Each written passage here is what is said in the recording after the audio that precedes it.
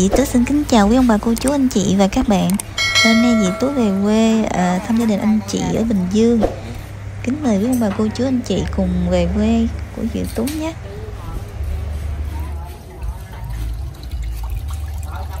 Đây là cái hồ cá của gia đình có à, thiết kế có thủy sinh ở trên.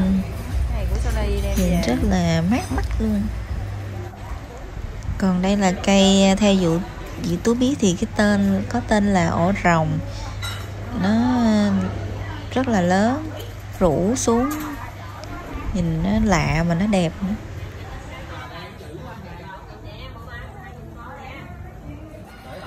Và đây là bữa cơm thân mật của gia đình Diệu Tú cùng à, các anh chị Nãy biết mua mấy chai nước ngọt bữa cơm ở quê cũng ờ, đơn giản không có gì hoành tráng lắm nhưng mà ờ, rất là vui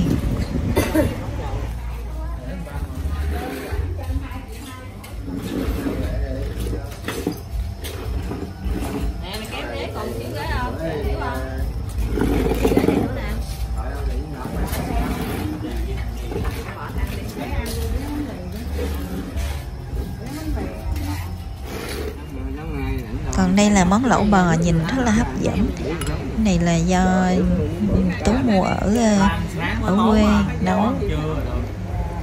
Lẩu nhìn ngon lắm. Sáng này mới xuống được 65 á. 65 kg cháo rồi bữa nay ăn lên hai kg Ờ, nó bảo đảm lên mai cho lên tháng 7 kg mấy luôn á. Có bữa ăn 78 luôn. Ghê luôn em biết sao tại chị không ăn sáng đâu hồi sáng chị lên cần kêu. 67 kg rồi hỏi em sao dám ăn còn đây là cây mít trái ờ, nhỏ xíu chắc là giống thái nhưng mà nhà trồng không thuốc.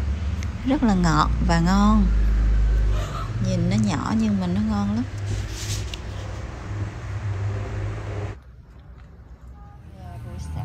Ừ, đây là bụi xả nè. Đây là lá lớp mọc ừ, rất là nhiều tự nhiên mọc lên nhiều là lắm. cây seri nè mà cây seri cây này là ờ, cây sóc seri ăn hết rồi. Tán xum xuê có trắng cái này seri mà. Nhiều Hồng Quân là cây sao mà nữa? bị sốc ăn Nhìn thấy hết trái rồi seri không? Đây nè. Này nhà mày về à? Làm gì biết không? Anh hai nó sóc ăn hết à. Nào đằng xa kia là những bụi tre giống ờ, Đài Loan nó ra những bục măng rất là to mà ăn nó giòn và ngon nó không có đắng lắm.